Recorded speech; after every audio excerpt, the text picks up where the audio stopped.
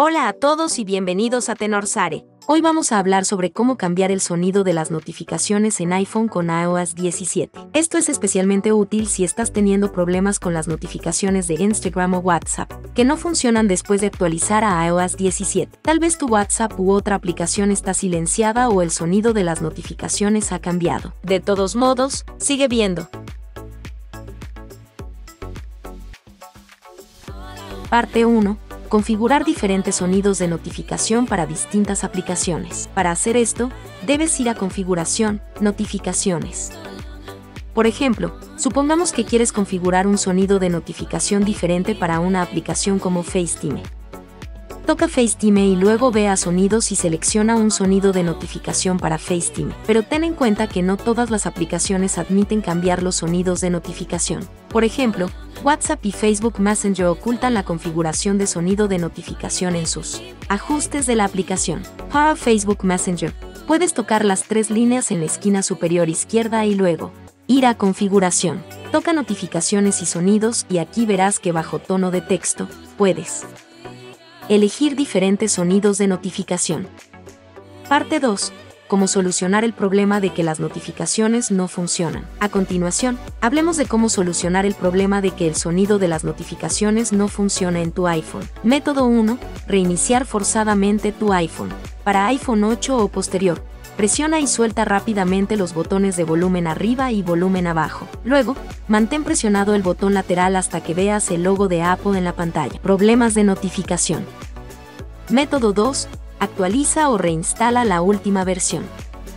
Primero, asegúrate de tener la última versión de Instagram o WhatsApp instalada. Abre la App Store y busca Instagram o WhatsApp. Si hay una actualización disponible, toca actualizar y puedes intentar reinstalar la aplicación. Ve a configuración y toca general. Toca almacenamiento del iPhone, encuentra Instagram y trata de desinstalar la aplicación o borrarla. Método 3. Restablece todos los ajustes. Lamentablemente, si el problema de las notificaciones de Instagram en iOS 17 continúa, restablecer los ajustes puede ayudar.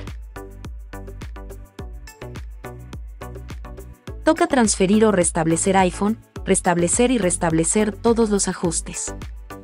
Esto no eliminará tus datos. Método 4. Regresa a una versión anterior con Raybot.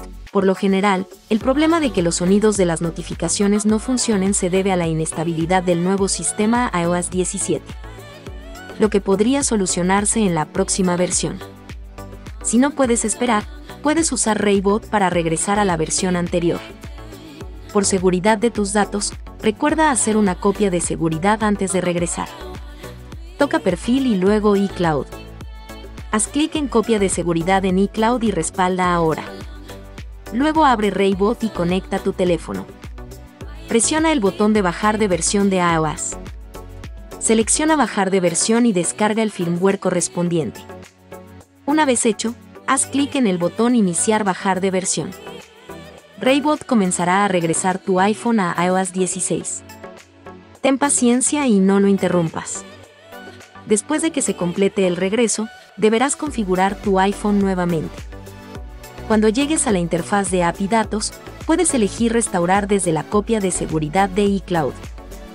Bien hecho, ahora tu iPhone ha vuelto a iOS 16. Eso es todo. Si no puedes resolver el problema, déjalo en los comentarios y te ayudaré lo antes posible. Así que no olvides suscribirte, nos vemos en el próximo video.